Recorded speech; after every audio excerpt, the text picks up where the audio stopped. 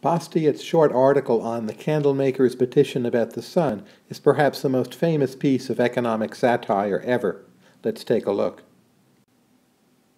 The full title is A Petition from the Manufacturers of Candles, Tapers, Lanterns, Sticks, Street Lamps, Snuffers, and Extinguishers, and from producers of tallow, oil, resin, alcohol, and generally of everything connected with lighting and this essay can be found in Bastiat's book, Economic Sophisms, and it dates from 1845.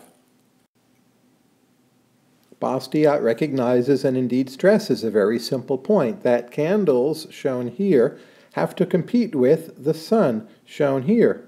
And during a lot of parts of the day, the sun is actually a lot brighter and more powerful than candles. Isn't this unfair competition? And here is an excerpt from Bastiat's satirical petition from the candlemakers, and I quote, We are suffering from the intolerable competition of a foreign rival, placed, it would seem, in a condition so far superior to ours for the production of light that he absolutely inundates our national market with it at a price fabulously reduced.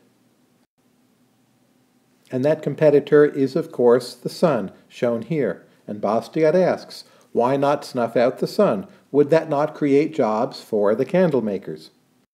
You can read the short and brilliant essay online. Just Google Bastiat Candle Makers Petition. It even has its own Wikipedia entry.